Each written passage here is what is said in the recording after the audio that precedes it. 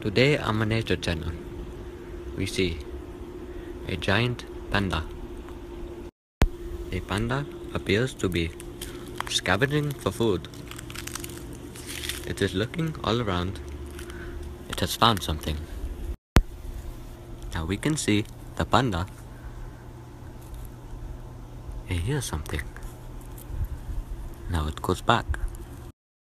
Incredible footage right here. We have never been able to get so close to a giant panda before. oh, it almost bit. As we can see, the giant panda is doing some type of mating call or maybe a tribal call. The giant panda keeps licking its lips. It must be hungry.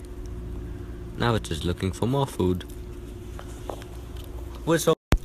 The giant panda is known for to be a vicious predator, so we must be very careful when approaching it. Oh, it almost bit. Now we must leave the giant panda and let it get back to its work. It has a busy day. It must get all of its things done. We can still see the giant panda from a safe distance now. A little safer than before. It is still doing whatever it was. Panda! It is its name being called. It knows that something is calling for it. Panda! Now the panda seems to be approaching me. I have to be very careful. It is coming closer. We must get away. It is too close. It looks like the panda has found some bamboo. That is her favorite food. It is okay. It eats bamboo. Has now made his way into civilization. This could be very bad. Very bad indeed. There are many people that could get.